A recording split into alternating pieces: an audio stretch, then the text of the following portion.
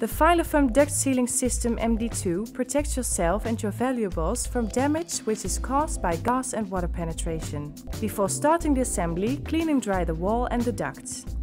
Give the duct, cables or pipes a key with a sandpaper. Then place the foam support block under the cables about 10 cm from the front of the duct. Remove the pin from the cone fastener.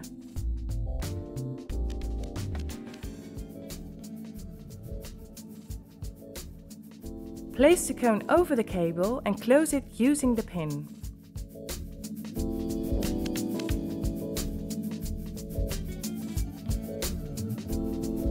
Wrap the cord around the cable so that the cone is pressed tightly against the wall.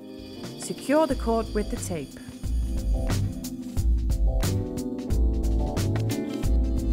Remove the resin package from the aluminum protective pouch and mix the polyurethane filler for 30 seconds.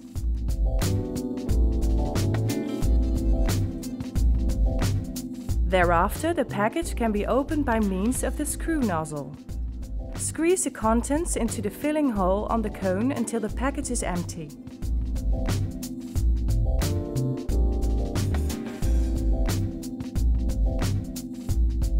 The polyurethane filler will expand and fill and seal the ducts.